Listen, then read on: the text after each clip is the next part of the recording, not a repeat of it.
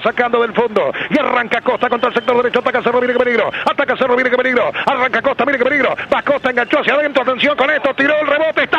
Gol. Gol.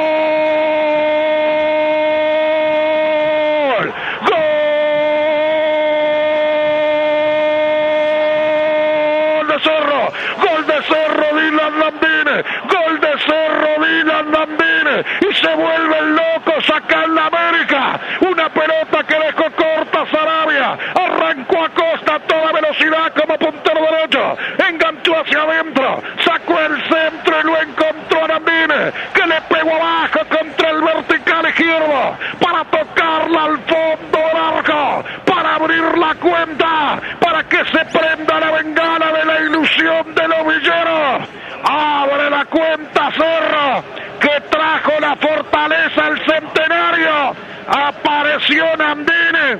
Está Fútbol a sol y sombra, llegando a todo el país y el mundo. Y un contragolpe sacado a toda velocidad, en igualdad de condiciones, creo que eran 4 contra 4, que si bien no lo resuelven bien en la primera instancia, después y de rebote sí gana Cerro, que era menos que Peñarol en los últimos minutos, mientras Peñarol busca el equipo, Cerro encuentra el resultado. Mismo síntoma con un mismo jugador y la verdad no entiendo cómo sigue estando en esa posición. Hemos hablado muchas veces de las contras en contra que genera justamente Sarabia cuando está en esa posición. A veces intentando salir jugando, a veces pasando mal el balón. Y bueno, fue un síntoma reconocido. Una muy buena presión por parte del equipo de Cerro que aprovechó un regalito y que a los 14 apareció un hombre de la casa, Dylan Nandine, para hacer callar la Amsterdam y para levantar a la gente que está contra la América y la Colombia. Gana Cerro 1 a 0. Le va a pegar el cabeza. Va a venir el centro contra larga tensión con esto. Allá va el envío la cocha.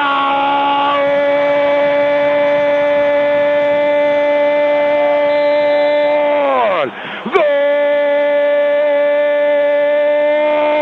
De Peñarol la cocha. A ver, a ver, a ver el brillo de Abel Hernández. En el primer centro que le tiraron en toda la tarde. Fue contra el arco de Amsterdam. Quedó mal parado Darío Vélez. Metió el golpe hacia el arco de Amsterdam. Donde los abrazos y los puños son en dos colores. Lo empata de pelota quieta Peñarol.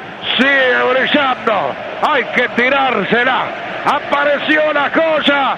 Uno a uno el partido. Fútbol a sol y sombra, llegando a todo el país y el mundo. Bueno, se queja Cerro de una, de una acción que yo la verdad que no la vi, pero algo pasó en el área, porque la verdad que lo de Denis es algo extraordinariamente malo. Se está quejando Cerro, no sé de qué, no sé si el bar revisa o no revisa, por televisión los compañeros pueden haberlo visto. Bueno, Hernández no tiene la culpa, le quedó la oportunidad, la mandó a guardar, empata Peñarol, veremos qué pasa en el bar. Dos cosas que pedíamos en el primer tiempo. Primero, que ejecute mejor los centros Sebastián Rodríguez y segundo, que lo busquen a él, muchachos, es la referencia. Venía de ser el goleador, todo lo que le tiraban por arriba, él lo terminaba transformando en gol. 45 minutos, más 5 minutos del segundo tiempo le costó a Peñarol poder encontrarlo en un centro. Al segundo palo, en una muy mala marca de Cerro, apareció el hombre gol de Peñarol. La joya lo empata acá en el centenario. La 30.